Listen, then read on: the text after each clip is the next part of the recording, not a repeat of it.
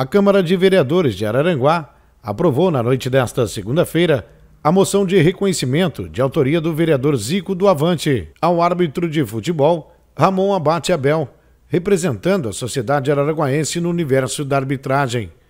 O vereador Zico falou a respeito da referida moção. Moção de reconhecimento né, aos serviços, serviço não, a arbitragem dele, né, levando o nome de Araranguá aí para todo o Brasil, né? Então, acho que numa hora certa, propícia, né, que ele está muito bem e hoje foi explanado toda a história dele, né, história linda mesmo de vida e que ele, né, continue assim, com certeza vai vai ser o nosso árbitro de, de FIFA, né?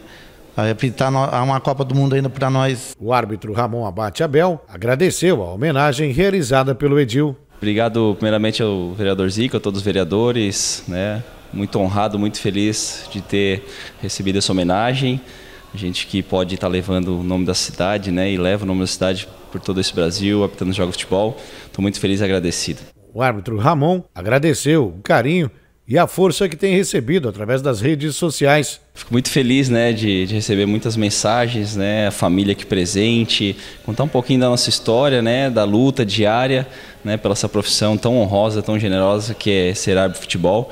E a gente só tem a agradecer, a nossa família está muito feliz e agradecer a todo o povo araranguaense pelo, pelo apoio pelo carinho que eu recebo de muitas mensagens. Então a gente fica muito feliz e agradecido. O jovem árbitro Ramon Abate Abel iniciou sua carreira em 2012, após entrar para o quadro de árbitros da Federação Catarinense de Futebol, estreando pelo Campeonato Catarinense Sub-17, na cidade de Tubarão.